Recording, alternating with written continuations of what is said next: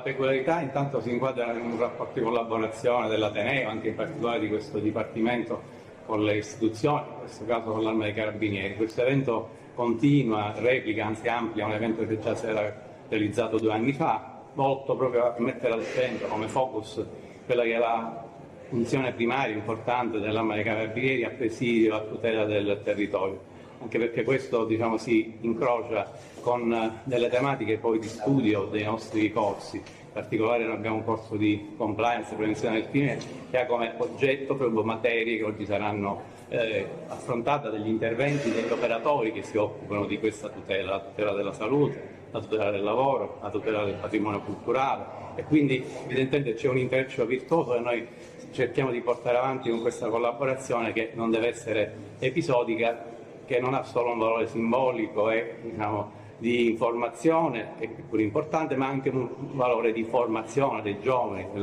dei nostri studenti verso uno scenario che è quello in cui loro devono operare nell'ambito dell'affermazione della legalità. Sono le attività che alcune reparti dell'arma svolgono nell'ambito dei comparti di specialità che sono attribuiti in via esclusiva all'arma dei carabinieri con legge del 2016 e quindi riguardano la salute, sanità, l'igiene, la certificazione alimentare, la sicurezza forestale, ambientale e agroalimentare, il lavoro, la sicurezza sul lavoro, la protezione sociale